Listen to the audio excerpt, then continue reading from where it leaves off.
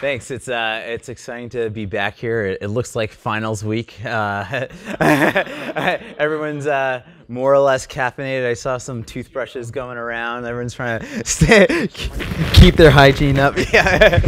Um, but but no, that that is the spirit of MIT. So I think you guys are all getting a good sense of that. Um, no, that's that's exactly kind of like the the energy that you want to feel here. Um, when we started Ministry of Supply, I think you probably heard a little bit um, from Aman, my co-founder, but you know, we, we started right out of the, the e-center and um, the environment was just like this. And it's very energetic, it's very collaborative, and um, no, it's just super exciting to see this continue to happen. Um, what I wanted to talk about today was kind of diving into our funding process. You know, while I do tend to focus more on the branding and product for the company, um, Aman and I, you know, we share kind of the capacity of building the company. Um, uh, what Aman focuses on is tends to be more kind of the the financing and the marketing side of the company. I focus on the branding and the product development. Um, but together, we're really trying to create the the direction for the company. And what we found is that there is no you know kind of clear cut path for you know, creating your organization. So, um, and much the same way, nor, nor, is there a clear path for fundraising, and that's what I want to talk about today. Um, is, is how do you get that vision off the ground? Um, so I'll, I'll, i put in some slides earlier about just you know what ministry is about, but I'll kind of fly through these because I think you guys are all familiar. Uh, we'll keep you try to keep you engaged uh, this early in the morning. Um, but again, just just a quick reminder, you know, ministry supply. We're making a new category of clothing. We call it performance professional wear. It's all the comfort out of your athletic clothes, but designed for where to work, and it's really built at this nexus of um, a new lifestyle where it's work-life integration. You guys are experiencing it right now, where um, you need clothing that can kind of last you 16, 18 hours uh, for a day. Um, and, and it's this idea that, you know, many of us have experienced um, athletic fibers, you know, firsthand and, and seen how it actually allows us to perform better throughout our day. So um, I'll, I'll kind of run through this part because you guys are all aware of that.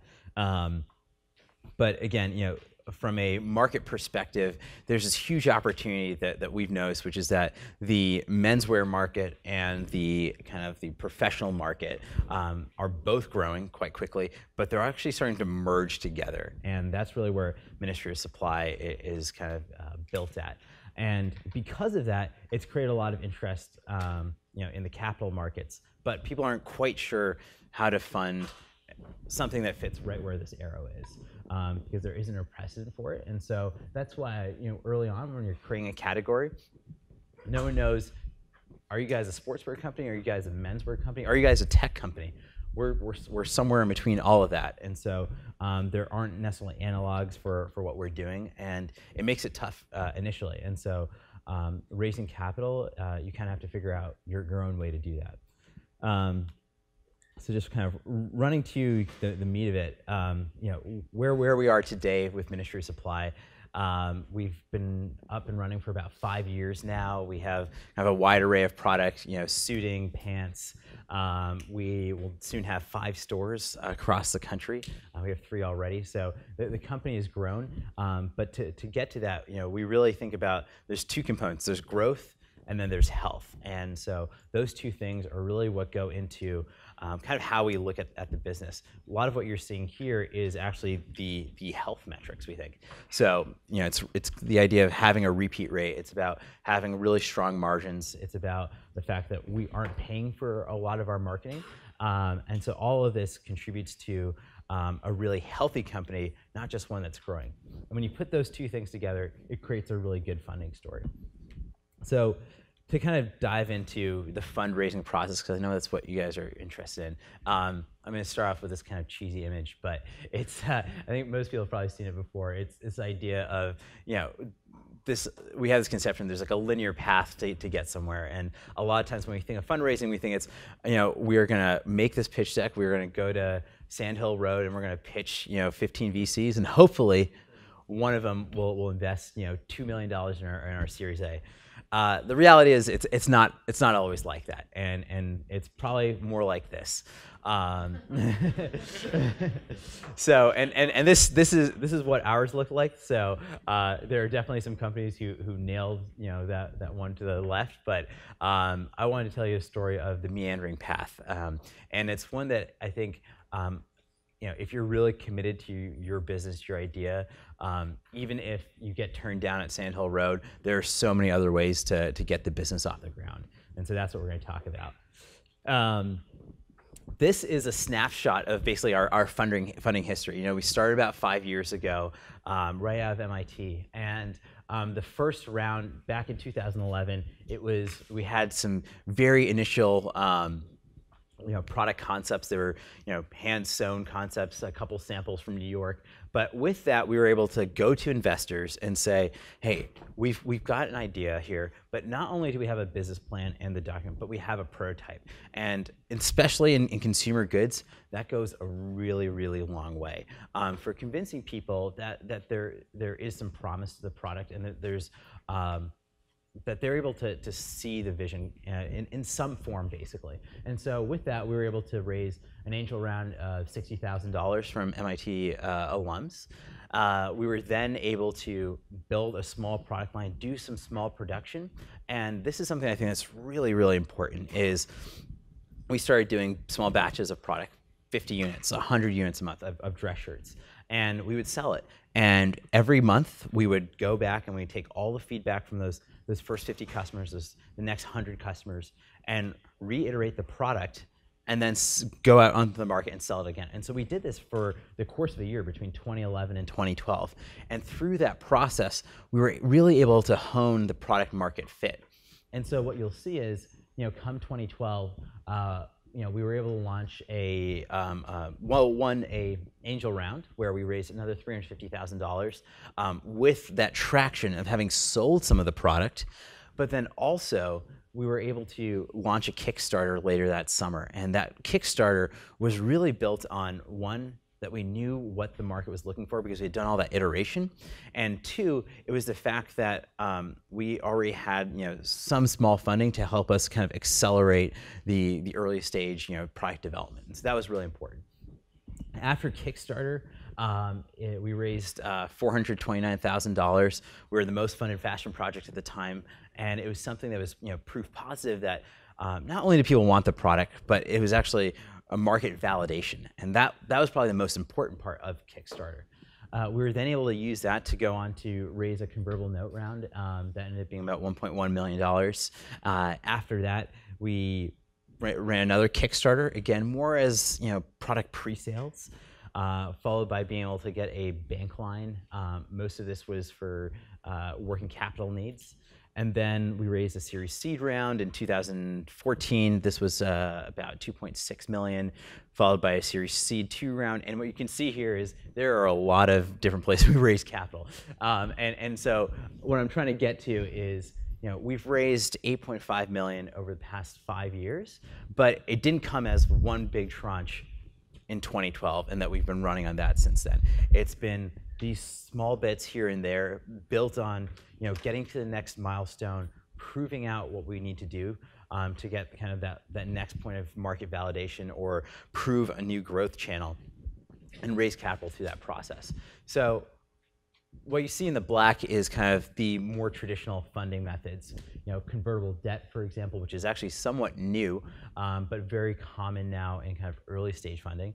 And then you've got you know your Series C and uh, Series A, which would come out down later in the road, um, which is traditional equity rounds. But the blue is kind of the, for lack of better terms, non-traditional funding methods, um, and that's really about you know what are the other ways, particularly for a product business where you have working capital needs, there's many other ways of you know uh, of raising capital for the company. So here is what we call our our, our capital toolbox. It's um, many of the ways that we use to to fund the company. There's convertible debt, um, there's equity, crowdfunding, um, lines of credit, manufacturing payment terms. Um, so all five of these are all ones that we use together. Um, and they came in at, at, various different points. And what's important to know is that oftentimes, I think people um, you know, if you read TechCrunch, everyone's announcing how much they raise, and a lot of times people think that what you've raised is a mark of progress, um, but in many ways, there's many other tools that you can use, and many tools that are non-dilutive, and I think that's the exciting part. Um, they're non-dilutive, they scale, and that's what we're going to get into. So. Um, for, for those of you who, who aren't aware of, of uh, convertible debt, it's been starting to be used somewhat recently um, as a, uh, a new tool for raising capital early on for a company when you're the concept is very early on. You don't have a good way of evaluating the company. So what convertible debt is is it basically says I'm going to take a loan has an interest rate and has a maturity date, let's say 18 to 24 months, and then after that point, um, the investor has the option to either convert it to equity or they can um, they can actually you know uh, pull back that loan you know with the, the, interest rate. But in most cases, their intent is to invest as equity. So um, there's a couple different things to note here. Um, when there's an interest rate um, attached to it, so usually this is seven to eight percent. This is pretty common for a convertible note. Um, there's often what's called a discount to a, a, future round. So that means because you're investing earlier on um, in the funding process, you'll get a discount to the future funding round. And so this basically means, let's say um, we raise a million dollars and um, in two years from now, we raise at a $10 million valuation that angel investor is going to have their debt convert at a $8 million eh, valuation if it's a 20% discount. And so they're getting a, a little bit of a, a, leg up because they invested earlier on. So it, it's, a, it's a way of not having to spend too much time focusing on the valuation early on. That said, sometimes investors will ask for what's called a cap. And that's basically, it's basically like they're saying it's, it's a valuation. One of the other reasons people use convertible debt is it's way cheaper um, to use earlier on in the company. So um, just from a legal standpoint, you know, you're looking at something on the order of let's say five to ten thousand dollars legally to do a convertible note, where it can be twenty-five to thirty to do uh, a convertible. Uh, sorry, uh, an equity round. So those that's another reason why people opt for convertible debt. Um, but you know, when, when you look at Ministry of Supply and kind of what our convertible debt rounds look like, uh, we had um, four tranches, three early on and one most recently. And what's been interesting is the types of investors who invest. It's a lot of angel investors, um, but I wouldn't overlook angel investors. And one of the reasons why we found them to be so helpful is that one, they're very committed to kind of the long vision of the company. Um, they're getting in early. They most of our angel investors have uh, invested two to three times. So it's uh, they've been with the company for a while. They believe in the mission. Um, they're oftentimes our best customers, and that's something that it's a great way to source you know early uh, early investors is looking at who your best customers are, and it's a good way to um, you know stay in touch with your your, your customer base is is through um, you know through the investors themselves. So. You can get a range of check sizes, oftentimes 10 to all the way 700k. That's that's what you know we had at Ministry Supply. You know we've raised uh, 2.5 million on that uh, convertible debt. So that gives you a sense of uh, what convertible debt is. So again, it's basically a loan that turns to equity at some point, but it's really good for early stage companies. Um, then there's equity rounds. So this is probably what most people are familiar with. Yep. Yes. Yeah. Yeah. The interest, yeah, yeah. Usually you'll negotiate that into your terms where the interest will accrue and then that just converts into equity later on. Yeah. Um, you know, looking at equity rounds, um, this is you know, pretty straightforward, translates into ownership of the company. Um, a lot of times it's done in the context of like institutional um, funds, whether it's a VC or you know, private equity or whatnot. Um, but we've we've had actually our series seed rounds, which is like our equity rounds, done a different way. We actually went out to several family offices, and at Ministry Supply, you know, we're creating a brand, and brands take seven to ten years to build. And that was something that was really important for us is understanding that for a VC, because of you know the way their LPs are structured, their time horizon is they want to put to put this capital to work for five to seven years, and they want to see exits in that kind of time horizon, five to seven years. They want to see exits of their companies. And so sometimes there's a misalignment of what is the objective of the company and what's the objective of the fund. And so with a family office, a lot, a lot of the times it's about um, long-term uh, wealth management. And so they're looking at a 10, 15 year time horizon. And so that's something that we found that was really helpful for us is that um, our investors who you know, come from these family offices are really looking for building a brand and are not looking for the kind of the quicker return. So definitely something to consider. You know, if you're on consumer tech or web tech, you may be fine with, with a VC. But if you know pharmaceuticals or if it's you know um, a brand or something that has a much longer time horizon, you should look at what is the the kind of structure of the the fund and what is their time horizon. Just as much looking at you know, if you're raising from a VC, what stage are they in a fund? If it's their, you know, they're in their third year of deployment, they're going to start looking to pull back that money about, you know, three to four years. So definitely something to consider along the way. Um, one of the things I wanted to discuss in the context of equity um, was looking at, um, in, in, in, particular, our space. So we're, we're a consumer products uh, brand. Uh, but if you look at how capital raised versus you know actual revenue created, that is kind of the uh, the best way to look at how efficiently does a brand use or a company use its, its capital. So on the one hand, you've got um, you know total capital raised over here versus annual revenue, and what what you'll find is um, a lot of like web tech, for example. Um, here's you know MongoDB, Houzz, Eventbrite. Um, they have a lot of capital they've used but the actual revenue is quite low. And so if you look on the other hand, when you start looking at consumer products, for example, it's a much lower, you know, uh, capital to revenue ratio. And that's something that has made, um, you know, particular our space, you know, apparel brands very interesting for um, recent funds. Um, this is from CB Insights, um, a great source for um, analysis of the capital markets.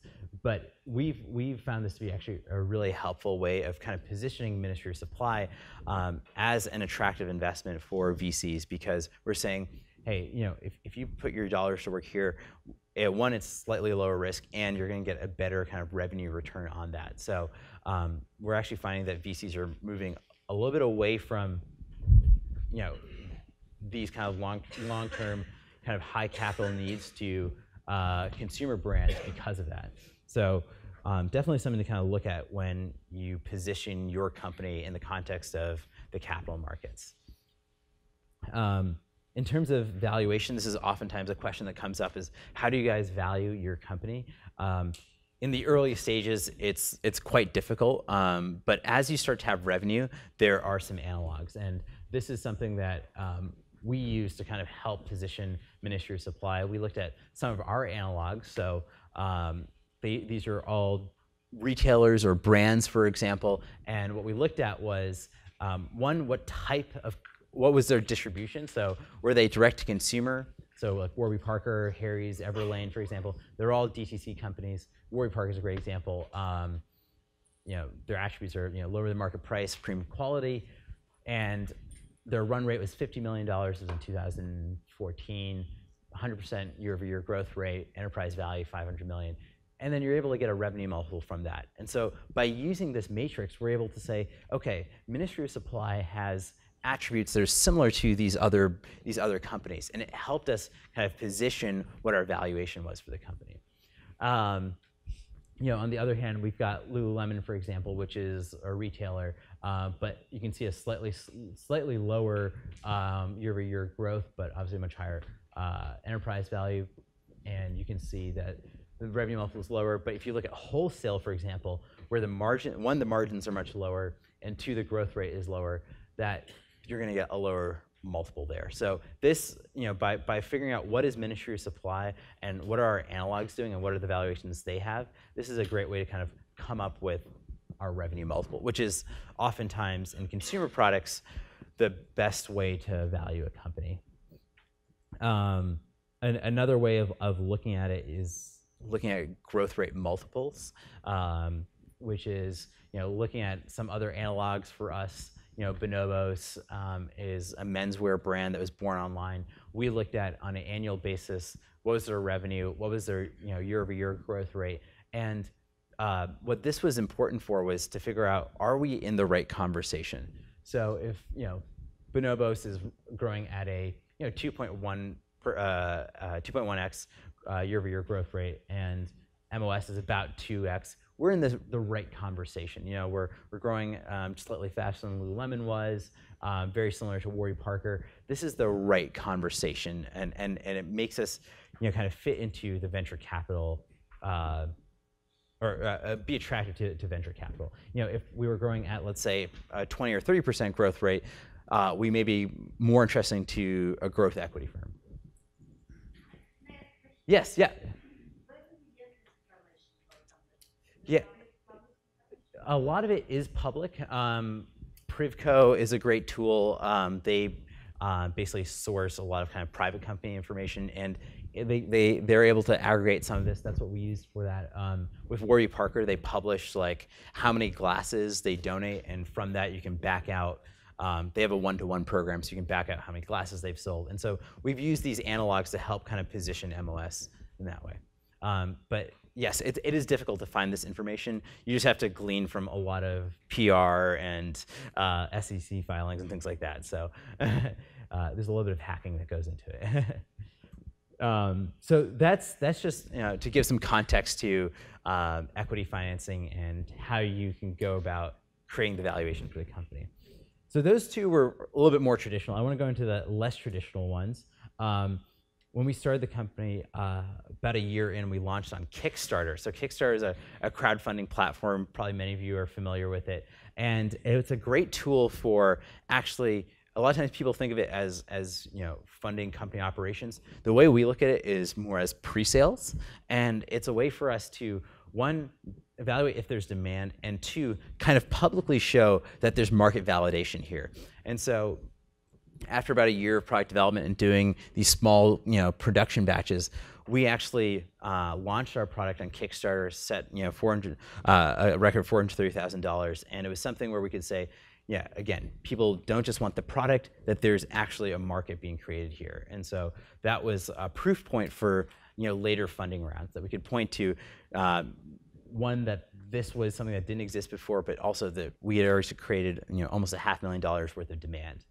Um, other things that are, are obviously great about crowdfunding is it gives you working capital. It helps you invert the cash conversion cycle, so you're not necessarily you know waiting around for uh, one uh, using your your equity investments to actually go into funding you know production.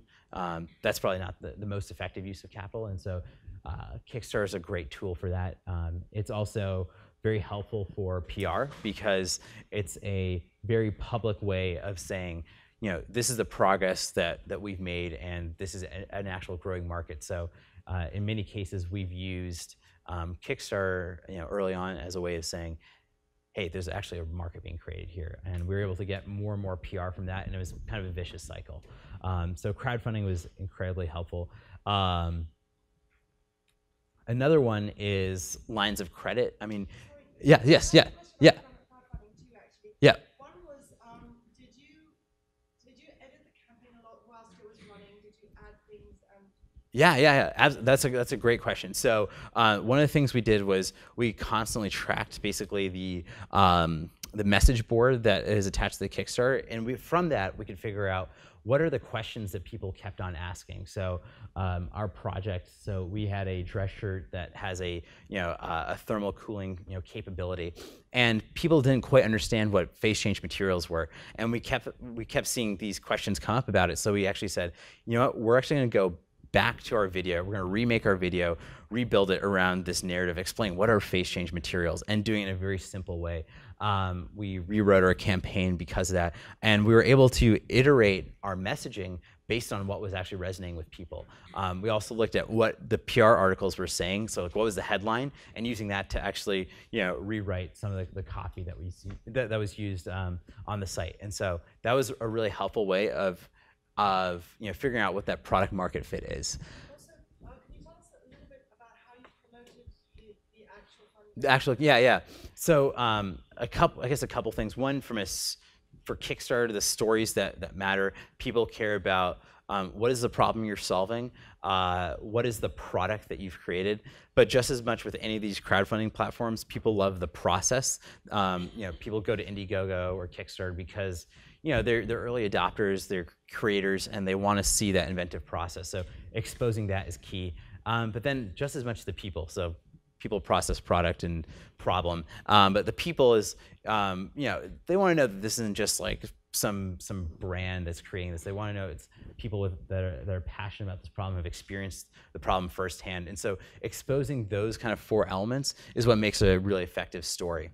Um, in terms of getting the word out there, before we even launched the campaign, uh, we actually had uh, uh, several news articles lined up on launch day. And the reason that's important is uh, when you launch a, uh, a, campaign on Kickstarter in particular, you really want some early momentum because the way their algorithms work is they track which product uh, which projects are rising quickly, and from that they will post the rising projects on their front page. They'll put it in their email. And what was interesting was actually half of our backers came from the Kickstarter platform itself. It wasn't necessarily people that we were directing to there.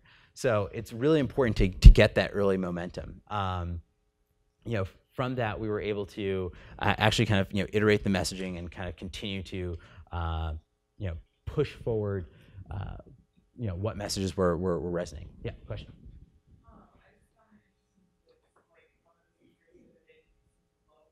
Yeah.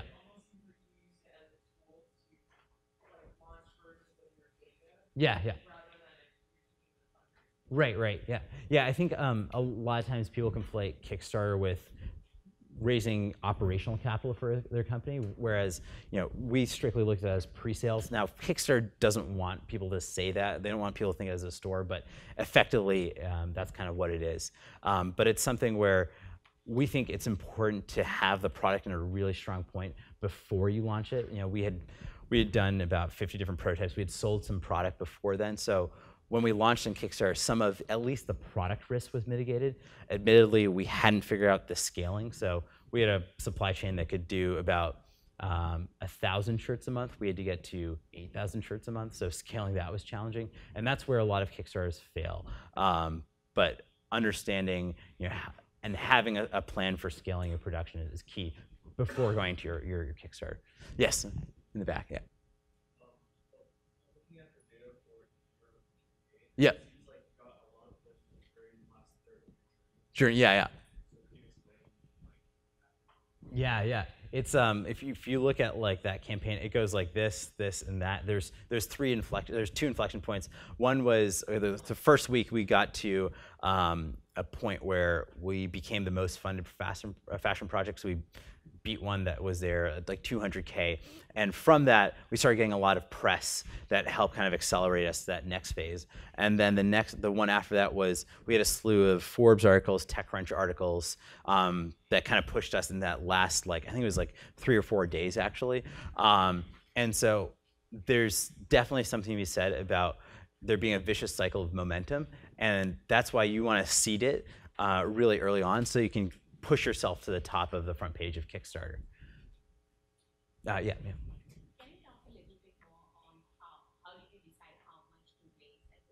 Yeah. So our, uh, our, initial funding goal was hundred thousand dollars, or it was thirty thousand dollars, but kind of internally our goal was a hundred thousand. Um, that was based on like a minimum production run that we had for our fabric, um, and then internally we had like an annual goal of we wanted to do a hundred thousand. So we wanted to see if we could cover that through that year's production. Um, but I mean, this by by all means, you know, exceeded our expectations there. And kind of what I was saying earlier was we didn't have a supply chain that could handle that, and that was probably one of our biggest challenges that whole year. Uh, we actually we took pre-sales for another month after Kickstarter, but then we actually shut down our site for sales for about four months because we were just playing catch up, and that's often a challenge that a lot of crowdfunded campaigns have. Um, something to be wary of, but uh, we launched a second campaign and we were actually able to apply a lot of our learnings from our first one to that. And so one of the ones was um, iterating you know, our messaging to was having a production uh, supply chain that could scale um, and then also having kind of realistic goals, yeah. Any other questions on crowdfunding? Yeah. ten dollars. Yeah, yeah. So one, didn't it occur to you that uh, maybe just offering, you know, having something. So even if it is, you know, if you, if you start from as low as one dollar Yeah. and just offer a thank you message. Yeah. I mean, just tell me your, your thoughts about it. Yeah. Uh, did you target a specific customer which could, uh, which could at least afford ten dollars, or you didn't want, you know, small money? Um, no, it's it's a great point. You know, um, we, we we didn't have like a kind of the the small kind of like emotional donation point, but um, that was very much like our, our ten dollar one. We we gave out like a, a little notebook with that. I think um, I think you bring up a great point, which is how do you capitalize on excitement even if someone's not ready to purchase the the product. And what's great about that is you can get people into your your flow. You'll get the email list, and that's definitely that's a, that's a great point. Um, but when we we thought about kind of our backer levels, we had $25 backer level that someone would get one of our T-shirts. Um, we had a $95 backer level where someone would get um, just one of our dress shirts, and then actually a $150 one. And that was what was interesting was people were buying our a couple of our undershirts and dress shirts. And what we found through that behavior was that um, people were interested not just in the product itself, but our whole concept. Um, and that actually helped us educate our product roadmap, where we're really trying to create a system of products that work together, just as much as the kind of the individual shirts themselves. So, and for example, I was to, you know, pledge ten dollars for Yeah, this yeah. thing. How much uh, value were, were you giving back? I mean, what, what, what, how much was the product? Oh, product. I, you know, I'd say about like you know maybe fifty percent. You know, it was it was a small mailer, but uh, but there's definitely value for someone being in your your your customer chain, basically. Yeah. And you kept it steady across the, uh, you know, different uh, rewards. Uh, yeah, yeah, yeah, exactly. Yeah, yeah. So um, the challenge was for us, admittedly, was the first production round. We didn't realize the cost of scaling production, and so our margins suffered you know, quite a bit, and we we broke even on the campaign. And I think that's where a lot of Kickstarters, uh, you know, don't they either uh, undersell their product or they don't necessarily know what the margins are going into the production. So that was something that was challenging for us. And so the second time around, we had a much better understanding what the true costs were, true costs of fulfillment. And that's actually one of the biggest things that kind of eat into to people's margins that they're not considering early on. Any others? Yeah, yeah, yeah, yeah. Yeah. Uh, no, no, th- uh, through our, our own our own site. Yeah. Yeah. Yeah, yeah, yeah, yeah. So, uh, you know, when it comes to uh, fashion, it generally is the customer perception, at least in the part of the world that I come from, Yeah. that I should have some discount. Yeah, yeah, yeah. Right? Is that a challenge for you? Uh, f- so for Kickstarter, I think the the way it's positioned often is um, these people are early adopters, so they're they're getting a, a discount more so because they're believing the product. There is some slight you know product risk here that it won't get delivered. Um, but we've actually generally tried to move away from you know large discounting. Other than what's what's our discount code right now? It's uh, s- Sleep is for the weak. Yeah, yeah. So we have a discount code that's going on right now. Uh, but you know, g- generally speaking, we um, we try to make sure that the value that we're conveying to our customers um, is one that you know they're, they're willing to pay for, and we're not trying to use discounts to bring people over the hump. Um, so you know, up until somewhat recently, we've only used um, discounts for first-time customer acquisition. Whereas if you look at the traditional retail industry, um, what oftentimes happens is it's very seasonal, and they plan selling 50% of the product at, at regular price and 50% actually at discount. So uh, we're trying to move away from that because it's not sustainable. Yeah, yeah, yeah, yeah.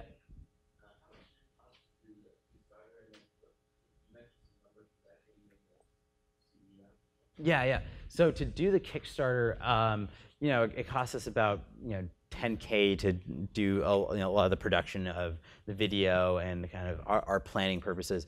Um, but Kickstarter does take uh, seven and a half percent. Um, Kickstarter takes a, a 5% cut, and then there's uh, Amazon payments on top of that. So that, that goes off the top. And that's something one people need to consider is like all these things kind of eat into your margins. Um, I mentioned fulfillment that you know took a, a quite a uh, fair amount.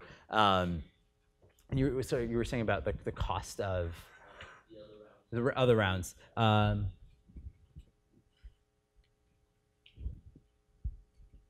uh, this round, in terms of each, so we had two equity rounds that went into this.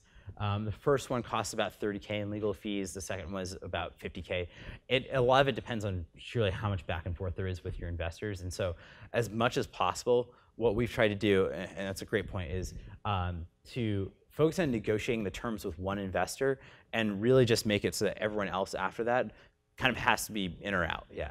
Um, because you don't want to go back and forth. Because every time you renegotiate the terms with one investor, you have to give those same terms to everyone else, and so it just costs more and more. Yeah. I'm just interested in your angel funding Yeah.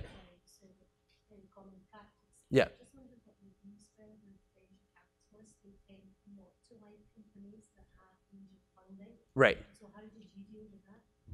I think uh, no, it's it's a good point. Um, you know, when you're raising angel capital, you end up getting these small checks, and you have you know easily you know 15, 20 people on the cap table. Um, you know, I I, th- I think uh, it's about you know if, if you're not able to get you know VC capital early on, at the end of the day, it's like you've got to do what you have to do to get, to get the get the company off the ground, and so. Uh, one of the things uh, we've realized is we used to make a lot of decisions um, thinking about what was going to make us attractive for VC later on. And what we found was that you know actually we might like a, a brand actually isn't the best thing for for VC in general. It's you know these family offices and things like that. And so once we were able to say you know we're not going to structure our company around following a traditional kind of Series A route. Um, it actually gave us a lot more freedom to focus on what was most effective for building a product business and a, and a fashion brand. So um, I, I, think that was definitely something we struggled with was constantly thinking about what is going to be attractive to VCs, and instead we should be focusing on you know what is going to move the business forward. Yeah. Um, just in the interest of time, I'm just going to kind of quickly go through to the next two elements. I mean, lines of credit are are pretty um, you know, common, but I'll just kind of quickly go through some of the caveats or things that we've learned through the process is uh, it's attractive because it's non-dilutive, um, but just, just be aware that there are oftentimes a lot of capital restrictions that go with that. Um, so we've raised uh, or uh, raised about $750,000 um, of working capital through that. There's different, different you know, restrictions depending on how you're using that debt. If you're using it for working capital, your interest rate is much lower. Um, if it's closer to the venture debt and you're actually funding operations, um, it can be you know north of 20%. So um, in, in our case, we wanted a lower interest rate, and so it came with many covenants.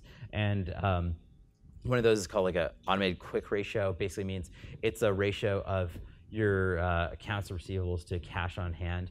And what that means is for a company that is um, selling to wholesalers or you know kind of retailers.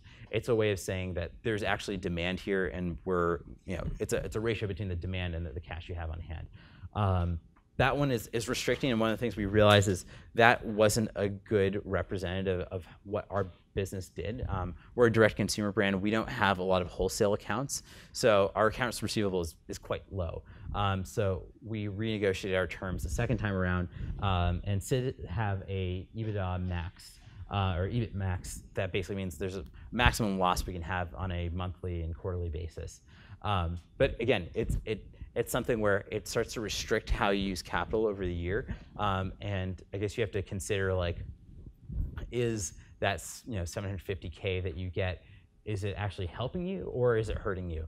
Um, generally speaking, you know, because we're a product business, we, we need that working capital. But um, you know, if if you don't have a lot of working capital needs early on, the debt may not make sense. Um, and another thing to consider is how it looks on the books for you know, future funding rounds. Is you know, if you have a lot of debt, um, at some point it's not going to be, be attractive um, to investors. So that's definitely something to, to be aware of. Um, the final one I wanted to talk about was manufacturing payment terms. And this is actually something that I think a lot of people forget. It's, you know, and, and it's incredibly important for a, um, a consumer products business or any, any business where you have those kind of capital needs. Um, one of the things is it's a way of working with your manufacturers, building a relationship where they're able to mitigate your working capital needs by giving you payment terms. So it helps shorten your cash conversion cycle.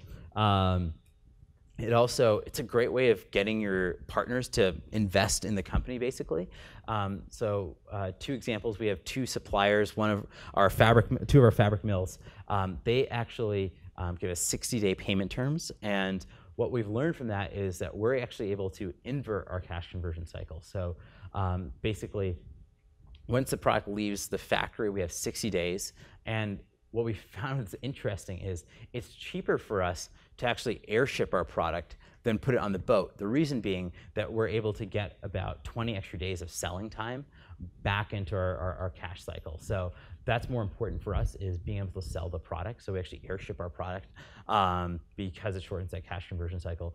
And uh, it's a one way that we've been able to actually give equity. We've, we've given some equity along with the payment terms to our, our, uh, our factories. And it just gets them so much more bought in. They're invested in your success. And one of the great things about these, these payment terms is they are premised on usually having like a one to two year relationship where they can see the growth trajectory. Um, it often requires some kind of commitment of production schedule with them, but it scales with the business, and that's something that most of these other capital means don't do.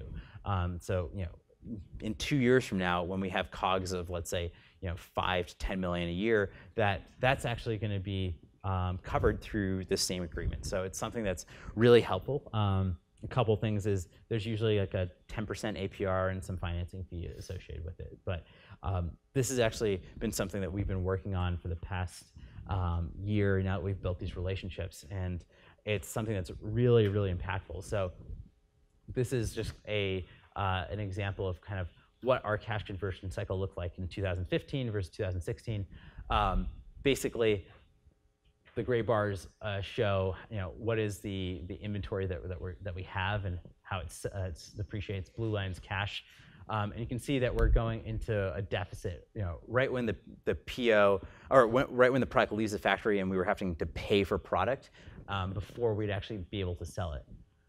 But here, we're actually able to get the inventory on hand and we are, we're not paying for the product. So the cash conversion cycle actually gives us positive working capital um, if we're able to sell more than half of our products. So you know, our gross margins are about on the product is about 65%. So if we're able to sell 35% of our inventory by, um, so let's say you know that's 20 days into the cycle, that's one month into our payment terms, we actually have 60 days to start selling product, and that actually gives us more capital to you know, fund our marketing, for example. And so this was something that this is probably more important than than raising a million dollars or two million dollars for us was actually getting these payment terms because that unlocked the business. Um, and this is something that, that we think was incredibly, incredibly important. And it leaves me on the last note, which is the bonus and last one is the, the, the best way to fund your business is, is sell product. And I think it goes without saying, but I think um, uh, it was something that one of our investors, he, he wrote on our first check, sell, sell, sell shirts. And every, every time he you know, does a new investment, it always says, you know, sell shirts. And the, the thing we've learned is, you know, I, uh, my background's like an engineer and designer, and I, I, I generally want to you know, perfect the product, but at the end of the day, it's about getting product out the door and, and selling it, and that is what's going to allow you to kind of move the business forward. So it's, it's something where you, you, know, you heard early on where we're doing these small production batches. It was a way for us to prove progress, you know, get awareness, and um, selling product is kind of the ultimate way. Is eventually you want to become profitable, and by focusing on that as your number one goal of funding the business, um, you'll create something that's sustainable. Um, so with that, I'll just kind of leave it with a summary slide, but if there's any other questions, happy to talk through them. Yeah.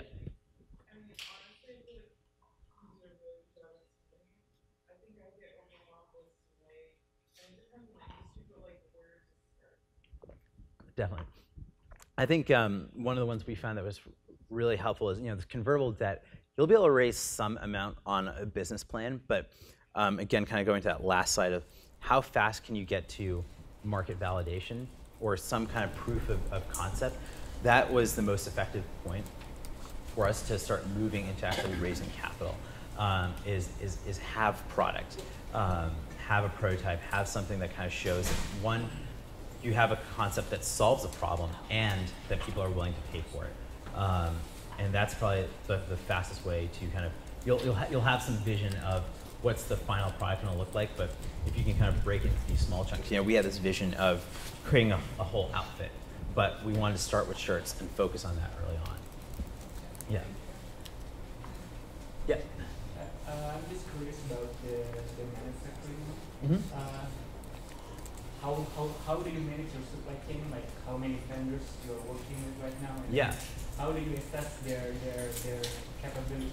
Yeah. Because At the end, consumer goods, it's about agility and then to catch up with the growth. Growth, yeah, yeah, that's a, that's a great point. So one of the things we were learning early on, um, and it goes back to like that, the, that Kickstarter challenge we had was it was really hard for us to scale production early on, and we were manufacturing, um, we were manufacturing domestically, and the thing was we didn't have what was called finished goods purchasing. So um, it meant that to make a shirt, we were buying the buttons, we were buying the hang tags, we were buying the fabric, we were paying a supplier to cut the fabric, a supplier for the fabric itself, uh, a supplier to actually cut and sew it.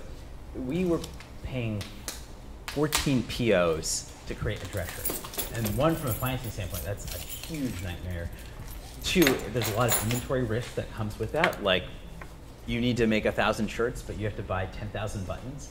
Uh, I know these sounds like simple things, but all of a sudden, all this inventory builds up. And so um, we were finding that there was no way that we could scale our, our product line by having to place all these, these micro POs. So we moved to what's called finished goods purchasing. And what that means is we give the design of our product to our suppliers. So we have um, one company called Singtex, another one called Toray. Um, they're one's in Japan, one's in Taiwan, and they've been amazing partners for us. And what they've done is they've said, okay, one, we're fabric uh, supplier, so we're, we're able to supply the fabric for you, but we can also manage the entire production of your product. So we'll work with the cut and sew facility, we'll source all your trims, and you'll just pay one price for the product. And the great thing about it is that it's mitigated so much of the risk for us because in many cases, you know, we're able to do bulk buying of, of buttons or fabric with another brand, and they're able to kind of do that in the background with, without you know us needing to know about it. But we can get a much much better rate because we're buying in bulk with, with another company. Um, and the second part is they're the ones who are ultimately extending those those those payment terms, right? And so instead of having to get 60 day terms with your button supplier, but only 30 day terms with your fabric supplier, we're able to aggregate all of that and makes this financing so much simpler. So that was a huge change for us was moving from kind of multiple POs to single PO placement. But in the end, is it more expensive for you to manufacture in one shop than to manufacture? It's it's interesting. Like um, we actually find that you'd think you'd think it would would be, but because they're aggregating all of that demand, um, they're able to get one be- better pricing, and two, um, the we wouldn't be able to get that kind of payment terms with the smaller uh, POs. So on the whole, it ends up being cheaper to pay do the the, the final PO. How did you find them? Um, a lot of it was actually through our um, advisors. So, um, actually, a mentor for the EDP program here, Tetsuya O'Hara, he's a director of advanced research at Patagonia. He put us in touch with kind of their, their you know, key manufacturers, and um, it was a great way to understand that our biggest challenges, in some ways, wasn't the product; it was how to make it. Yeah, yeah. yes. It's quite a personal question. Yeah. Um, did you put your own money into kickstarting the business? Yeah, so um, you know, early on, um, we put in some of our own capital, mostly for, for living expenses, living off credit cards, um, uh, and then kind of later on in the business, um, put in some capital in a kind of a more recent round.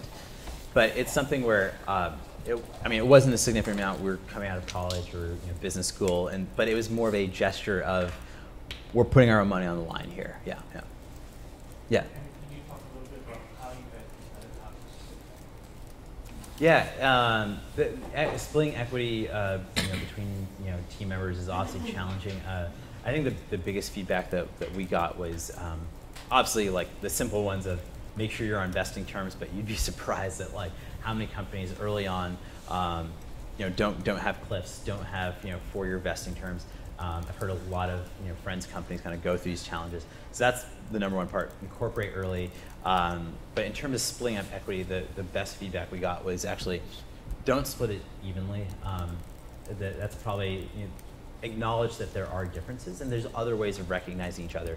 Um, but you know, at the end of the day, there's different ways of acknowledging risk, uh, uh, acknowledging expertise, and then acknowledging kind of um, resources that one brings to the table. So um, the way we did it is there was an article we found on like I don't know, this was like TechCrunch or something like that, maybe five years ago, of actually a point system, and it's a matrix of 10 criteria, and you know, you give each founder, you know, a different number of points, and you know, the reality is, it was an objective way for us to divvy it up, and at the end of the day, we said, the agreement was, do we believe in the process? And whatever the outcome is, we're going to go ahead with that, and that's what we did, and. Uh, yeah, it was it was a, a, way of kind of making a little bit less of an emotional decision, but we found that process to be quite helpful. Yeah. Christian, did Yeah. you, as a founder, did you have a salary in the beginning? Uh, uh, from which point you From started? which point? Yeah, yeah. Uh, so when we started, uh, we did we didn't we didn't take salary for that the six first six months. Um, I was uh, living out of a we had a MIT fraternity that was was shut down actually, and we were had our office there and lived in the walk-in closet for the first six months. So it was one of those things. Uh, uh, Bill Aulet gave us some some office space also here at the E Center. Um, actually, the the the new Sloan building over here. Uh, it was being renovated and they gave basically the beehive which is a bunch of startups some some remained office space. And it was a kind of it was very much like this. It was a bunch of people just kind of hacking on projects but it was a great kind of uh, kind of grubby environment. We didn't start paying ourselves until about a year into the business. Yeah. So it was what, which financing was uh, it was the second convertible note. Yeah yeah. Um, and that was something where like you know here we got to the point where we could literally just pay for know, food and whatnot. But you know, coming to this stage, we said, okay, now that we're scaling the business, we've proved out um, that there is demand, and that's when we were able to kind of take salaries. Um, but you know, everyone's got you know kind of you know different stages of life, and obviously coming out of college, it's a lot easier to, to live that lifestyle. But um, you know, for, for one of the things I would suggest is you can see here that there are natural progression points and milestones, and um, one of the things we said was, you know, student loans kick in in six months after graduation. We want to be selling product by then because ultimately that's a proof point for us. And so I think it, it gets, you know, the, there was a question of like, wh- where do you start? And I think breaking it down to these smaller bits and saying, you know, I just need to make it to through the six month mark and prove out whether we're going to make it or not. That's a great place to say, okay, is, the, is, there, is there a business here? And, and if there's, there isn't, then there's an easy way out, I guess. Yeah, yeah. Yeah. Talk about uh, moving manufacturing, entire manufacturing process to single factory. Yeah,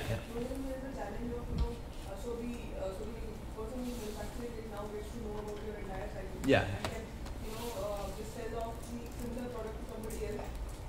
Yeah, yeah. No, it's it's definitely a challenge. I mean, we we we have um, a single. Uh, we have two manufacturing partners. We have multiple suppliers within that that chain. So that's one way of at least uh, reducing the manufacturing risk. But in terms of IP, one of the things we realized was at the end of the day, um, particular with consumer goods, the, uh, and, and apparel in general, uh, IP is largely overlooked. I mean, you look at um, you know bags, tents, clothing, everything's made in the same factories. And so as soon as you kind of get past that, it actually unlocks a lot of capabilities and kind of part- partnerships that you can have with manufacturers.